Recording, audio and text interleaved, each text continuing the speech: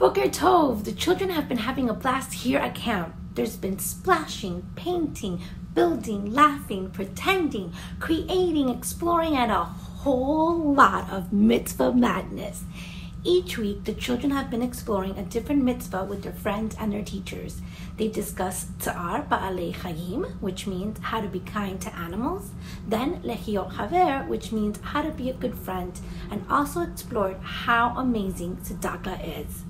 They've enjoyed dressing up each week for Shabbat and enjoyed reading stories about the different mitzvot during mitzvah and munchies.